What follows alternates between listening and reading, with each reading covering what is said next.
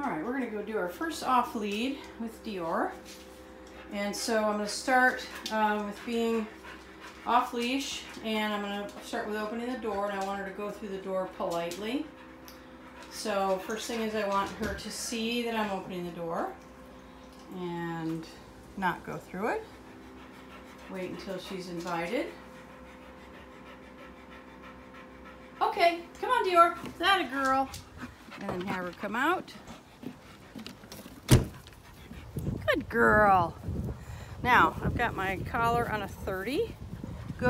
I've done my um, my uh, introductory work on a long line, and so this is the first time that we're getting off of the long line. Come on, kiddo. Come on, Dior. Good girl. Come on, girl. I think I'll turn it down to a 20 and see what we get on that. Since she's saying, I don't know about coming out into that yard, so it's on a 20. And you'll see how long and uh, I use, hold this down. Dior, a little bit of pressure there. Good, that girl, good girl, that's it. Dior.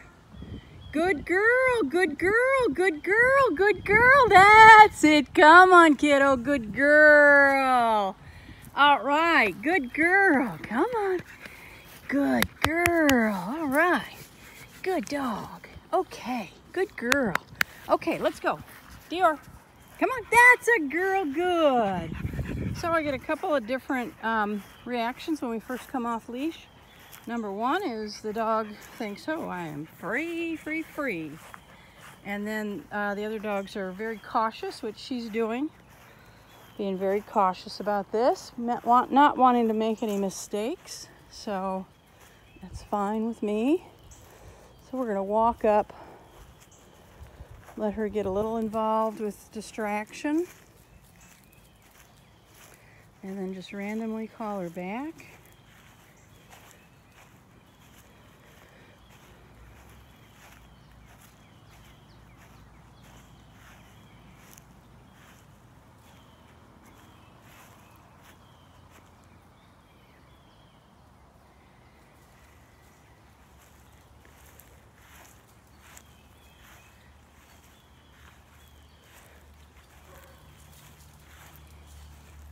Everything's fenced. She can't get through there. Ah, she's gonna go potty. So I'm gonna back away a little bit, get a little bit of distance.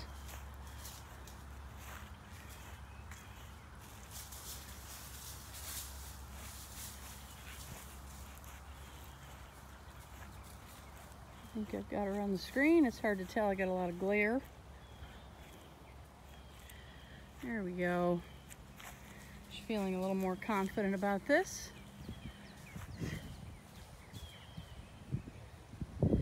All right, I'm gonna call her again. Dior, a little pressure. And you can see that she's not good girl. She didn't give as big a reaction as she did earlier. Dior, a little pressure again. This is on a 20. Dior, there's a 25. I am gonna go up a little bit here. So she's getting a little distracted. She's chewing on some grass over here. Dior is a 30. Yes, good girl. Dior, good girl. That's it. Dior, I want her to turn towards me, not just good. That a girl. Come on, girl. Come on, girl. Come on, girl. Good girl. Now, this is kind of cheating. Oh, yes, good girl. Cheating a little bit. So when she gets here, Dior, little pressure. And I'm trying to hold that until she moves towards me. Dior. That's it. Good girl, good girl, good girl, good girl. So I held that until she turned back towards me. That's it. That's a girl. Good girl. All right. Good dog. Yeah, good girl. Good girl.